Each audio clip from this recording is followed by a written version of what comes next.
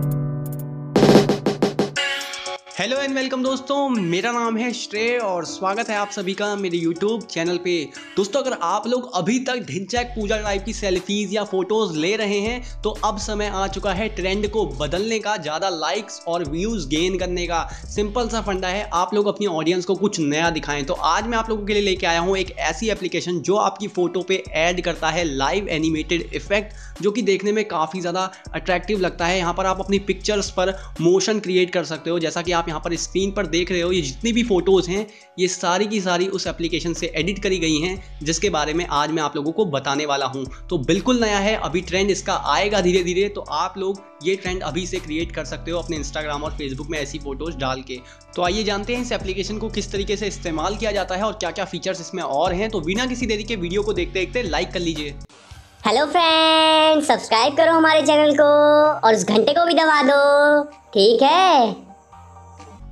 तो दोस्तों, यहाँ पर इस एप्लीकेशन में आपको तीन इफ़ेक्ट देखने को मिलते हैं, जिनमें से पहला है रिपेल दूसरा है ओवरले और तीसरा है मोशन मोशन मेरा फेवरेट इफ़ेक्ट है। अगर आप लोग भी देखेंगे तो चौंक जाएँगे तो वीडियो को एंड तक ज़रूर देखिएगा और मोशन इफ़ेक्ट तो ज़रूर देख के जाइएगा। तो आइए एक एक करके तीनों ही इफ़ेक्ट की बात कर लेते हैं। तो सबसे पहला इफ़ेक्ट जो है, वो है रिपेल का। तो यहाँ पर ये रिपेल इफ़ेक्ट क्या करता है? आपकी फ़ोटो पे मोशन ऐड कर देता है। तो आपको सिंपली क्या करना है? फ़ोटो को चूज़ करना है और यहाँ पर आपको तीन ऑप्शन मिलेंगे मोशन का। तो जिस भी पिक्चर पे आप जो है मोशन क्रिएट करना चाहते हो, उस हिस्से पे आपको ये एरो सेलेक्ट कर लेने हैं। उसके बाद स्टेबलाइज को वहाँ पर सेलेक्ट करना है, जिस पार्ट को आप चाहते हो वो बिल्कुल भी ना हिले, बिल्कुल भी मोशन में ना आए। उसके बाद मास्क में आपको अपनी फ़ोटो के ऊपर मास्क लगा देना है, ताकि वो भी हिस्सा जो है वो ना हिले और फ्लो ना हो। तो यहाँ पर आप देख सकते हो फ़ोटो बन के तैयार हो चुका है। बहुत ही ईजी इफ़ेक्ट है। बस यहाँ पर आपको तीनों ही फीचर्स को टूल्स को समझना होगा।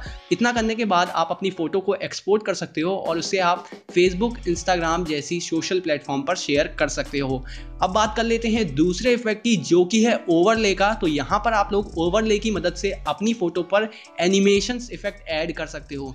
तो आपको यहाँ पर अपनी गैलरी में से एक फ़ोटो को सेलेक्ट कर लेना है। सेलेक्ट करने के बाद आप लोग जो भी एनिमेटेड इफ़ेक्ट उस पर डालना चाहते हो सिंपली आपको क्या करना है, आपको अपनी फ़ोटो को क्रॉप करना है।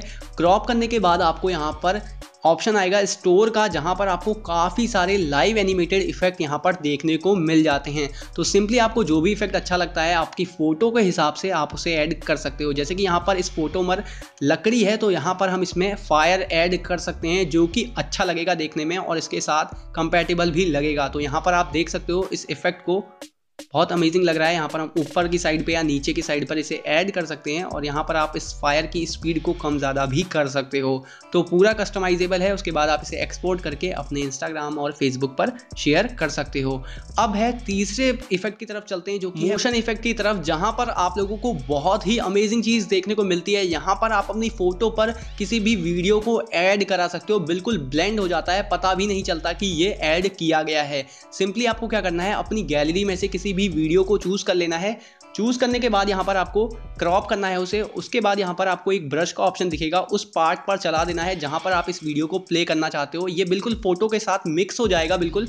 तो यहाँ पर आप अच्छे से ब्रश चला सकते हैं और यहाँ पर आपको इरेज का भी ऑप्शन मिलेगा अगर आप गलती से कहीं पे और ब्रश चला देते हो। उसके बाद आपको प्ले करके देख लेना है कि आपने सही से एडिट किया है कि नहीं किया है। तो उसके बाद आपको, आपकी जो फ़ोटो है वो कुछ इस तरीके की नज़र आएगी। तो यहाँ पर आप देख सकते हैं, ऐसा इफ़ेक्ट शायद आपने कभी भी नहीं देखा होगा और ये बिल्कुल नया है। तो आप इससे एडिट करके अपनी फेसबुक और इंस्टाग्राम पे इस प्रोफ़ाइल को शेयर कर सकते हैं और काफ़ी ज़्यादा व्यूज़ और फैंस गेन कर सकते हैं और कुछ नया दिखा सकते हैं अपनी ऑडियंस को।